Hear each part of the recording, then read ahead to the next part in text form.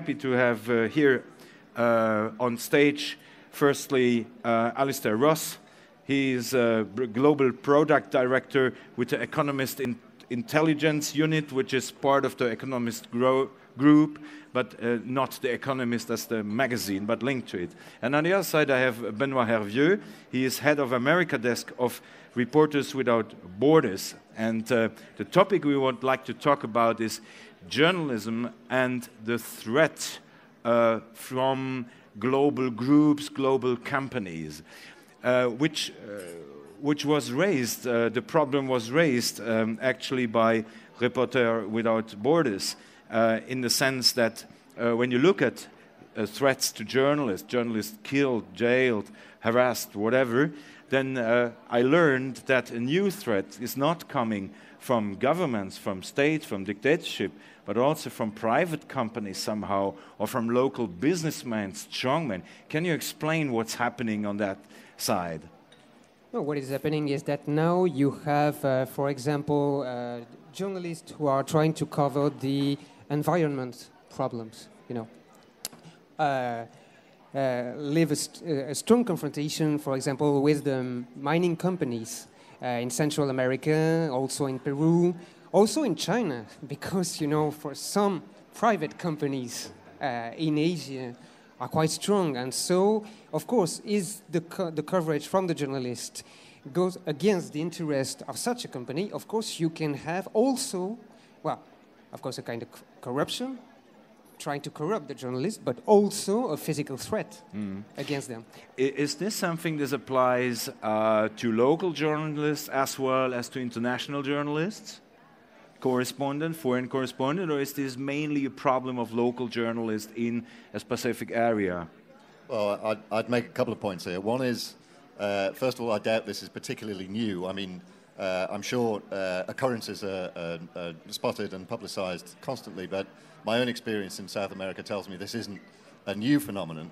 Um, I'd also distinguish, or at least uh, uh, urge you to distinguish between uh, global enterprises, large multinational companies, and local companies. So two are clearly very, very different. They have very different ways of operating. They mm. uh, operate in very different jurisdictions. I'm sure the problem arises in both cases, but the nature of the problem is different depending on uh, the size and the basis of the company.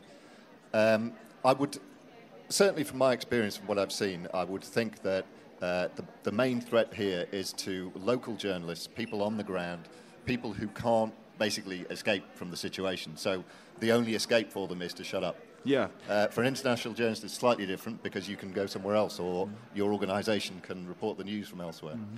We learned not a new um, phenomenon. Do you agree on that? New phenomenon? I would say yes, because uh, during uh, all the year of the Cold War, you had still, you know, the traditional situation with dictatorships on one side, democracies well, on other side, of course, it's more complicated, but you had many, the, the, the, violence came often from the state, and now it's different in the globalized world uh, like this. But local journalists, it's true that they are the first concerned, you know, by the threat, by the danger, by the physical danger. But you can also find that, you know, from international journalists, for example, I have one, uh, one recent case in Panama with the question of uh, exporting mine and many tension with indigenous people, and two Spanish journalists who were covering you know, the problem were expelled from the country. Mm. Um, what would you say? Is, is this a, an effect of um, globalization in which uh, big companies, multinational companies, become more and more stronger and can determine also the real life in regions in developing countries or emerging countries. Is this something that is linked to globalization as such? I, I wouldn't. I wouldn't think so. No, I mean, I wouldn't. Uh, you may disagree, but I wouldn't put it in those terms. I think, uh, in general, globalization. Uh, we have to remember, globalization isn't simply a question of major corporations uh, acting in a predatory manner around the world. But the access to markets on a global scale is maybe as well a part of the problem. Well, uh, companies are operating in more and more and more and more locations. Evidently, that's true. But it's also true that globalization opens uh, the world of information, for example. It makes it uh, harder to, to get away with things in, in uh, dark corners of the world that nobody's looking at because there aren't any. Everybody's uh, looking everywhere. So I'm, I'm, not, I'm not sure that I would make, uh, characterize it as a, a consequence of globalization. Mm. Isn't the fact also that now that people, also local people, have more means to unveil things, to internet, for instance, going to local reporting, so that they are close to it, that they can report because they have mobile phones, they have internet? Are they exposed more to dangers because of that fact?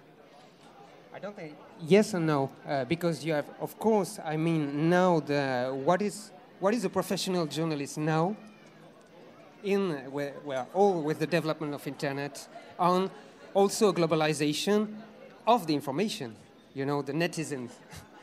but uh, also, I think that at the same time, you can be more exposed because you are not, you are independent journalist, you are doing your work by yourself. But at the same time, you have also the whole network in the internet that can also protect you in some part. Okay. Benoit Hervieu from Reporters Without Borders and uh, Alasdair Ross from uh, the Economist Intelligence Unit. Thank you very much